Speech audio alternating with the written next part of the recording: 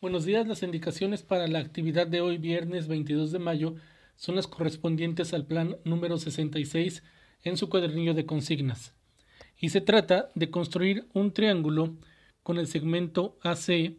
Este es el segmento AC. Yo encontré que tiene una longitud de 4.8 centímetros. Pueden utilizar una regla para corroborar esto.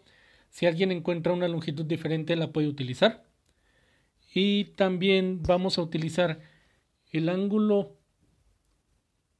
llamado ángulo A de 40 grados y el ángulo con el nombre C de 70 grados. Como segunda actividad vamos a dibujar un triángulo cualquiera y anotar sus medidas.